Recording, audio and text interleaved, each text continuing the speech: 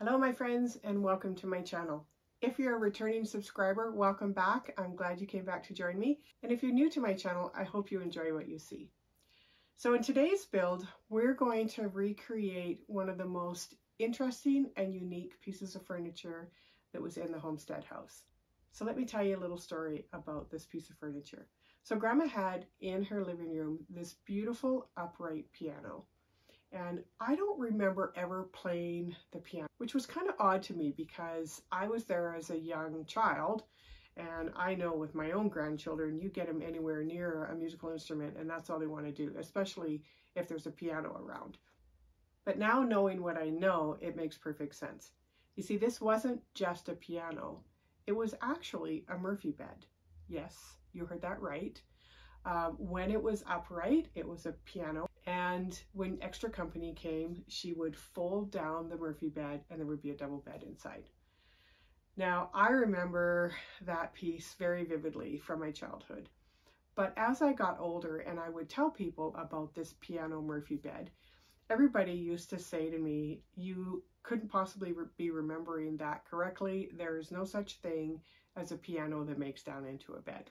And I heard people say that so often that I honestly started to doubt myself. And I started to think that maybe I wasn't remembering that right. Maybe there was a piano and a Murphy bed. Anyway, about 15 years ago, I was on a little road trip with my cousin's wife. And we were in this little museum that had a ton of old furniture from around the turn of the century. And in the back of this little museum was this upright piano. Now, it was not a Murphy bed. But as we were standing there admiring the piano, my cousin's wife said to me, Hey, do you remember that piano at your grandma's house that folded down into a bed? And I was so excited because somebody else actually remembered, somebody besides me. Um, so when I decided to build the homestead house, obviously that's a piece of furniture that I wanted to put in the house. So I started to do a little bit of investigating online to see what I could find out about these piano Murphy beds. And the one that I found was actually manufactured in the late 1800s. And it wasn't a real piano. It looked exactly like a piano, um, but it had no innards of a piano, which explains why I don't have any memory of actually playing that piano. But basically, people who were, um, I'm going to say, middle to upper middle class people would have this piece of furniture in their parlor more for status than anything else because it looked like you had a piano, but it also folded then down into a bed when they had unexpected company. Now, how my grandparents ever got a hold of something like that, I don't know because they were certainly not middle class, let alone upper middle class. Um, they were pretty darn poor. But somehow they ended up with this piece and it was in the living room throughout my whole childhood. So I'm going to do my best to recreate that piece. When I was investigating that piece, I came across a couple of pictures which were hugely instrumental in helping me to design this piece because I really didn't know how to build a piano Murphy bed. So the pictures that I found show one where it's upright and one where the bed is folded down. So those are the pictures that I'm going to use and I'll pop them up for you here.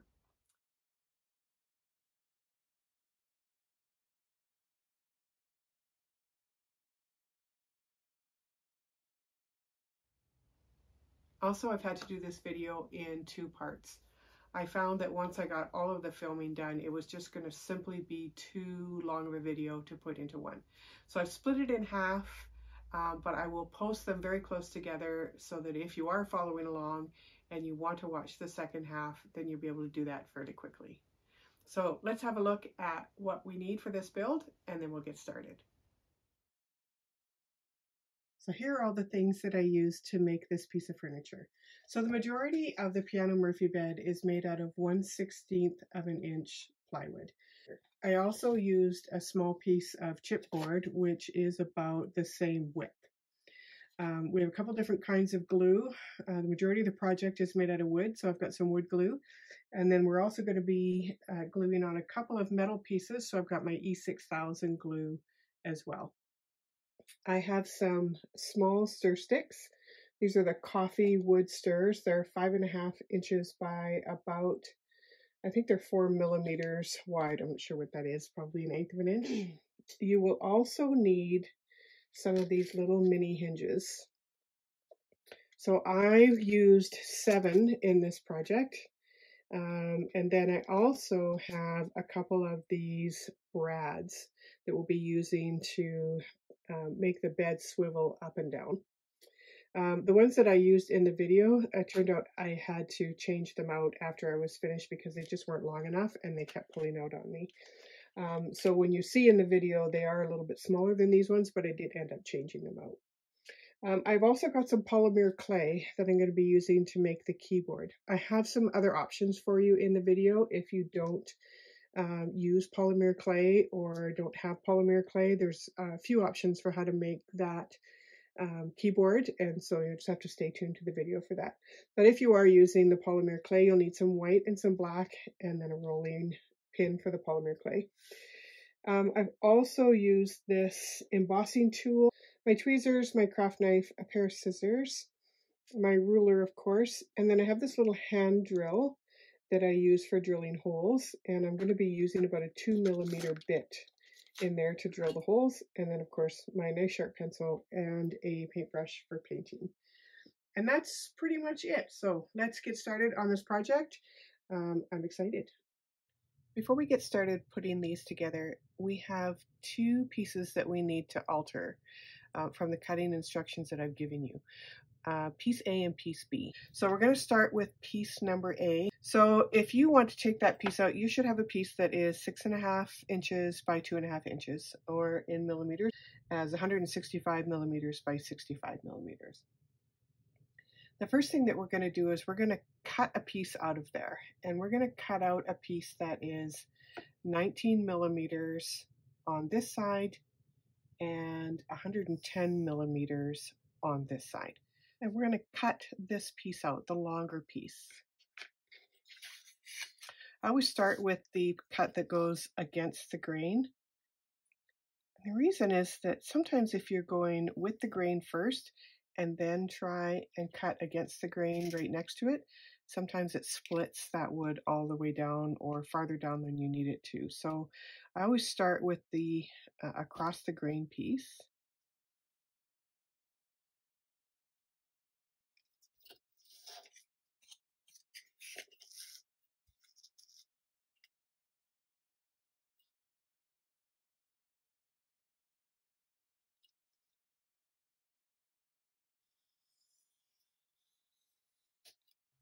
So next we're going to measure across the short side, but the bigger of the two short sides.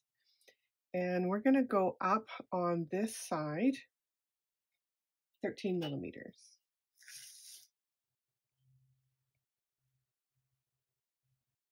Now this smaller square is actually going to stay attached to this long piece. It's this square here, or this rectangle here, that we're going to shape. And you can decide for yourself how you want to shape that. If you just want to make a semicircle, you can do that. If you just want to take off the corners a little bit and make it more of a, a squared off piece, you can do that. I just wouldn't recommend leaving sharp corners. So I'm going to go up from this line about two or three millimeters and make another line above that.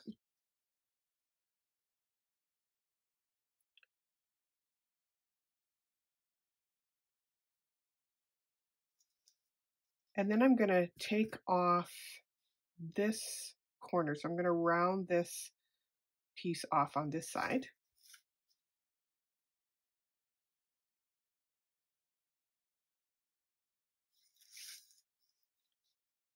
And then I'm going to round a little bit on this side as well.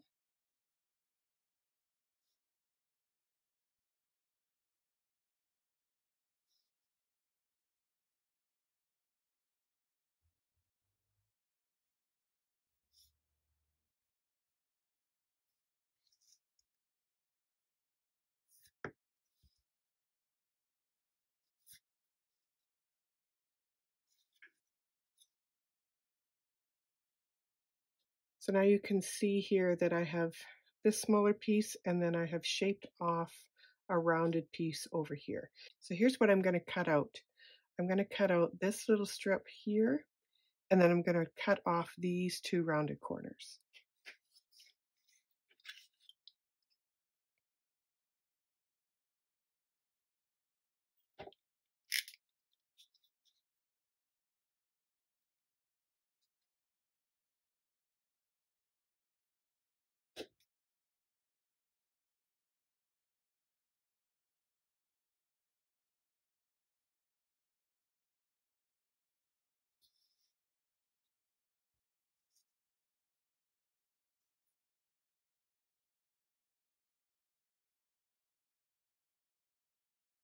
Now we're left with this shape.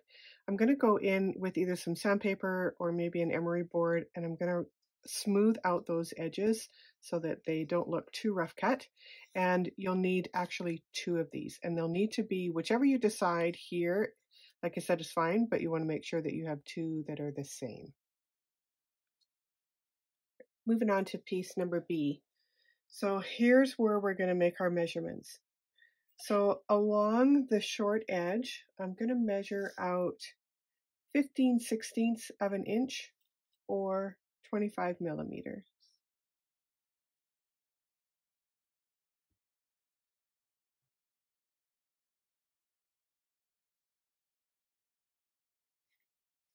Do that on both sides.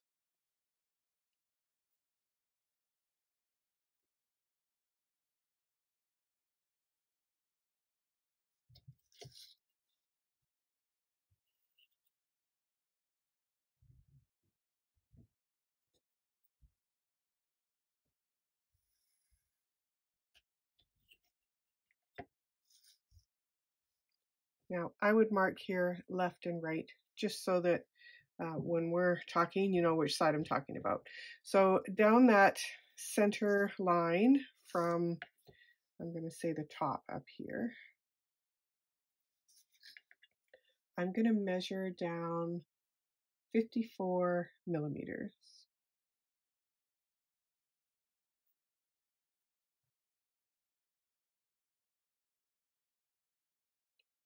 And then I'm also going to measure 93 millimeters. And then on the right edge, the same measurements. I'm going to go to 54.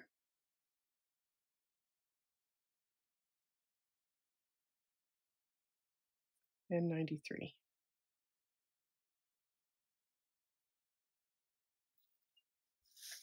And you can draw a line across there as well. So this piece and this piece will be cut away. And what we'll be left with is this full side and then this small piece on the right hand side. So let's get rid of those two pieces just so that they're out of the way and not a distraction.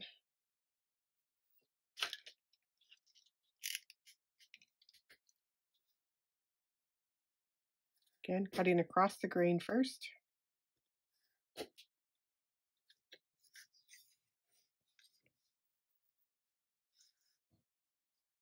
Now this is the piece that we're going to shape to look like the side view of a keyboard on a piano. So you can choose for yourself however you want that to look. You just need one piece of a flat edge on this side. So here's the design that I came up with. You can use it or you can use something different. It's totally up to you. So I'm going to come out 12 millimeters from this side.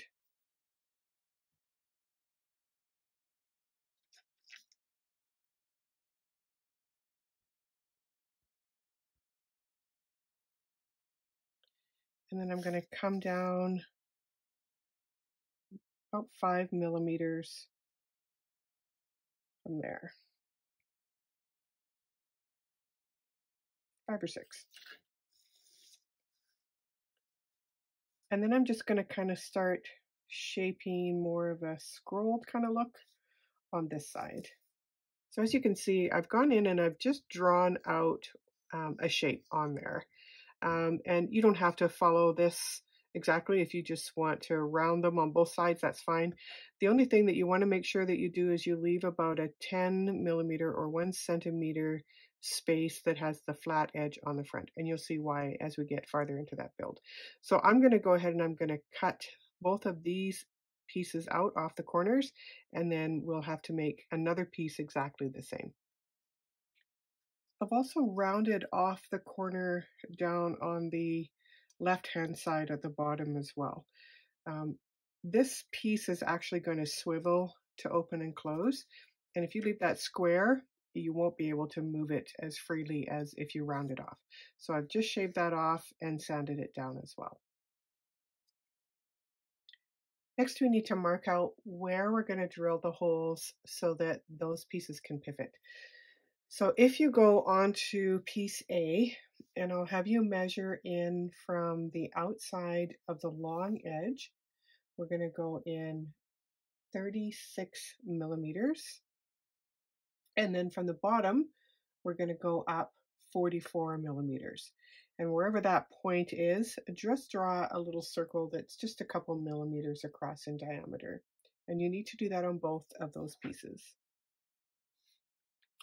On piece B, the measurements are 11 millimeters from the long side in and 36 millimeters from the bottom. And wherever those two measurements intersect, you'll need to draw a little circle there as well. We'll go in with our hand drill and we'll drill those holes out.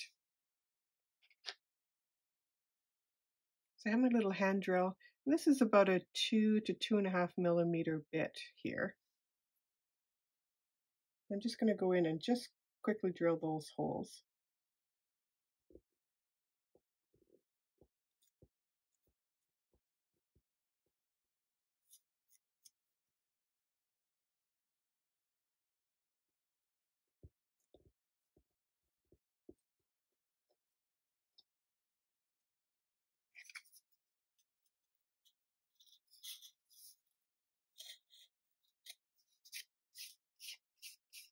I'll sand all these little bits of sliver pieces that are standing out.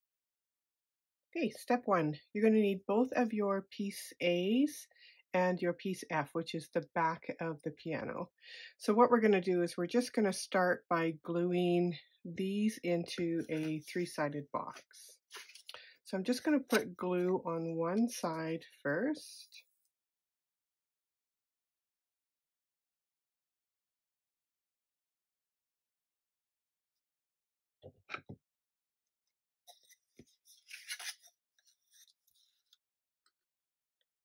Piano side is going to go to the outside so that the uh, back piece is on the inside.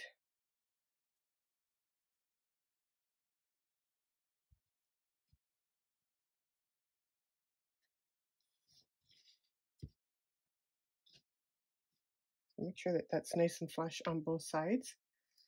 And then we'll use our setup blocks to hold it in place until it dries. Then we'll do the other side.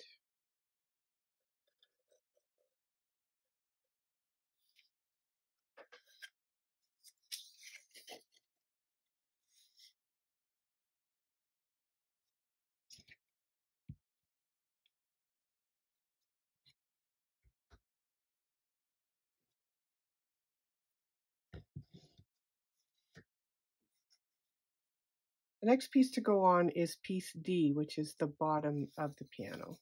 So I'm going to put glue on three sides.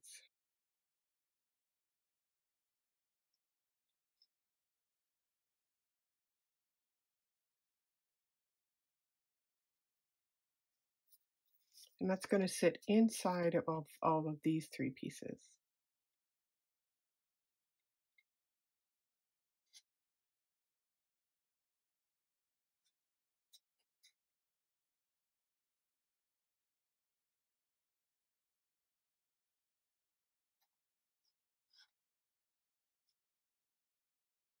While that base is drying, if you want to pull out your pieces C, so you should have two of those. And what we're going to do is we're going to make a hinge in between the two. So the first thing I'm going to do is I'm going to measure off an inch from each end on each piece.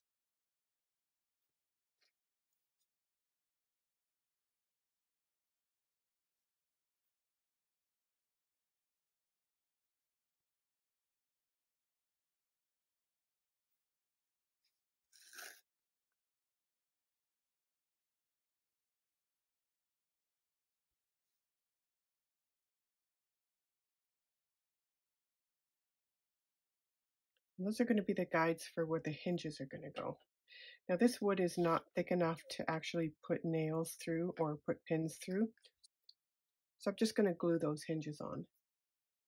Anytime I'm going to glue metal, I like to use E6000 glue. I just think it holds metal better uh, than the wood glue does. And then with a toothpick, I'm just going to add a little bit of glue to each side. Now be careful which side you're putting your glue on. You want that bulkier side of that hinge to be on the top. I'm going to lay that on the inside of that line that I drew.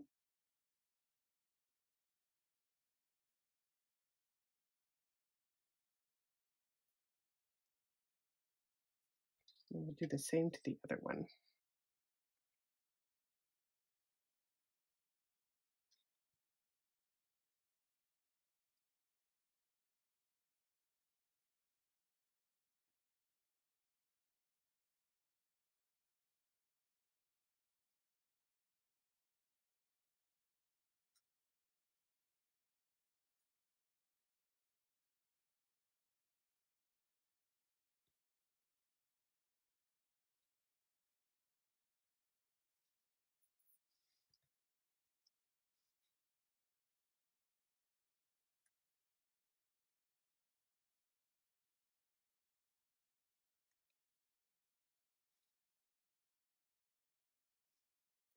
And I'll put glue on the other side.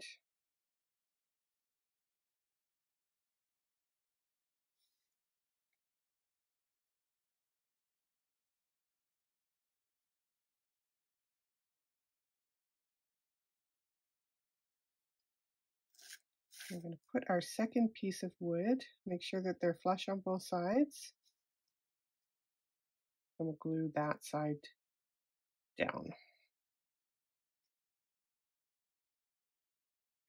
I'm going to let that dry for a bit.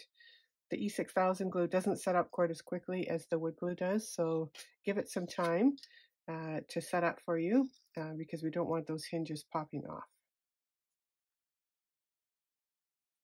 We'll bring in piece E next, and we're just going to flip this over. This is the front side. I don't want to lose where my front side is, so I'm just going to turn it over this way. And I'm going to glue this little piece onto the top of this little piece. Like so. Just put glue along one edge.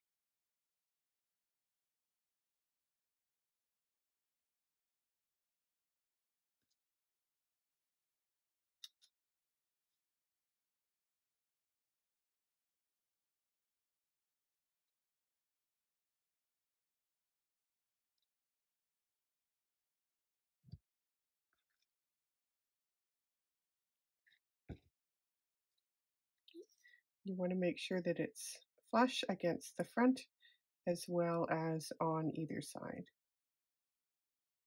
What this little piece will do is it'll actually hold the Murphy bed up and tucked away uh, when it's not in use. We'll Glue that top hinge piece now onto the top of the piano. Now this is going to sit flush against the back of the piano and it does overhang just a tiny bit on either side it's about a millimeter, millimeter and a half. And we want to glue it down so that this piece opens and closes. So when we're gluing, we're only going to glue the back piece on. So if you want to make a pencil mark on your, on the top of each side where that back piece ends so that you're not putting too much glue, and then we're going to put glue around those three sides, making sure that we're not coming too far forward.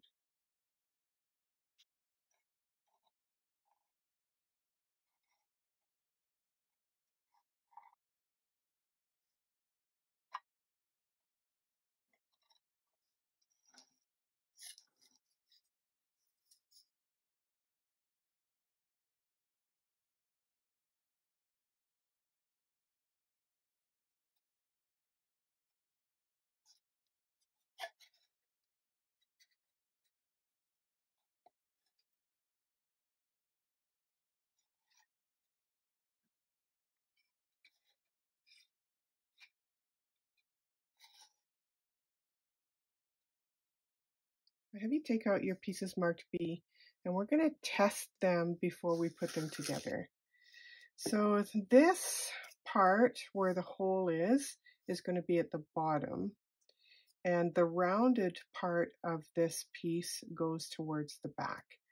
So what I'm going to do is I'm going to line up this hole with this hole. And I'm just going to put just a little stick in there, anything that uh, will fit just to hold it. Um, and then I just want to test and make sure that this piece slides down to the bottom. Now, as you can see, it's a little bit tight in there. I think because the bottom of this is just a little bit too long. So I'm going to shave off just a millimeter or so off of the bottom of this piece just to give it a little bit more clearance and then we'll retry.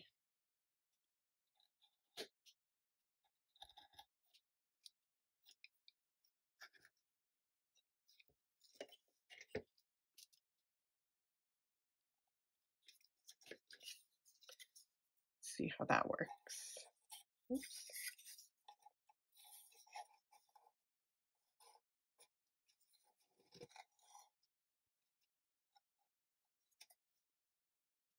That's much better.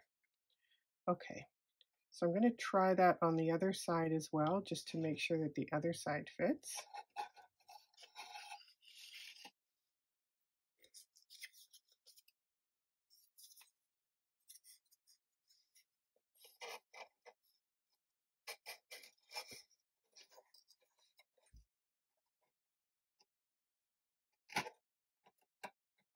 And that one is a little bit high up at the top. Just rubs just a touch at the top. So we'll take a little bit off of here.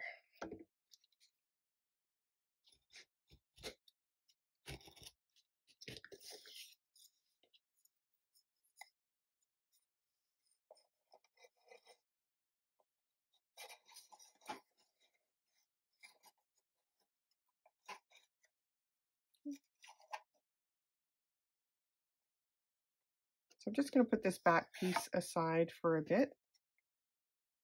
And we'll work on these two pieces next. Okay, so we've got our two pieces marked B, and then we need piece H, which is the front of the piano or the bottom of the bed, depending on which angle you're looking at. And so what we're going to do is we're going to glue this piece right along this edge and over top of this piece that juts out.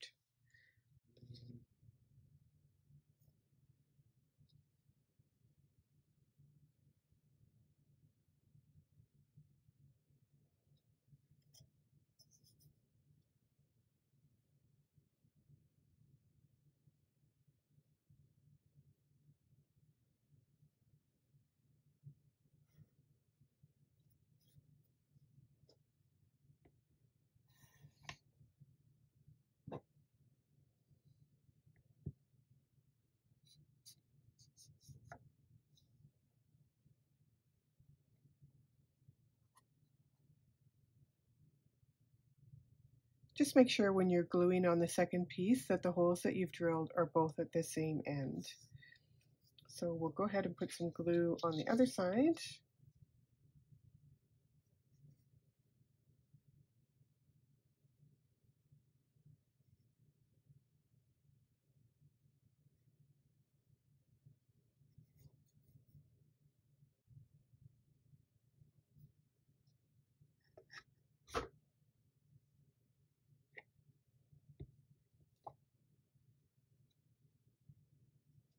The next piece that we'll glue in is piece I. And you're going to want to glue that in on the square side as opposed to the rounded side. So this is just going to sit inside these three pieces.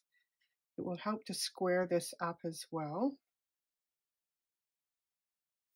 Do the two short sides and one long side.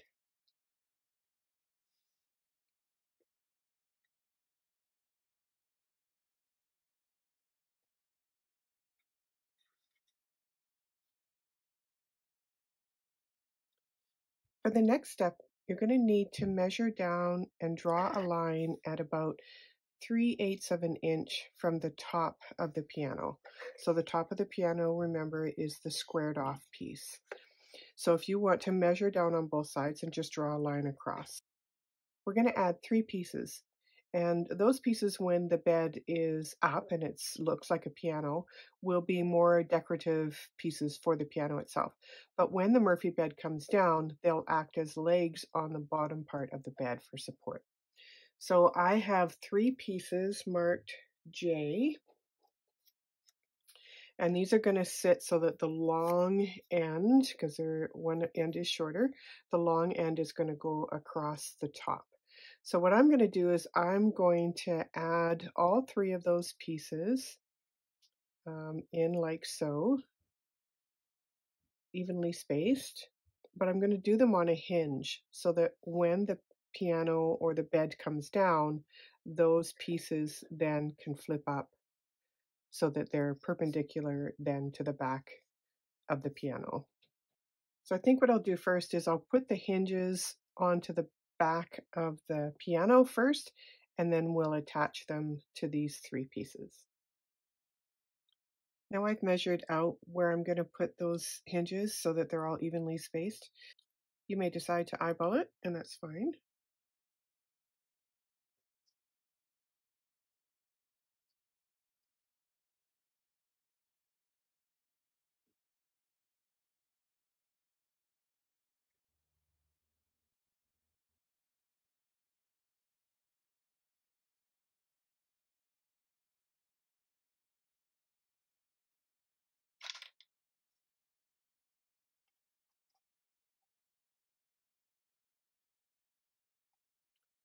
Now it doesn't matter whether you put this hinge, whether you put the middle where the um, where the hinge part is on that end, if you put that right on the line, if you put this on the line, it really doesn't matter as long as you're consistent with all three.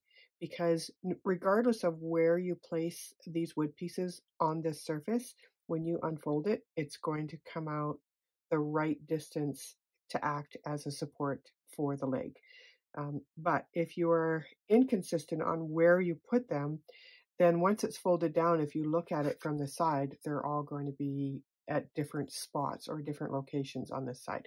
So wherever you decide, um, just make sure that you're doing the same for all three hinges.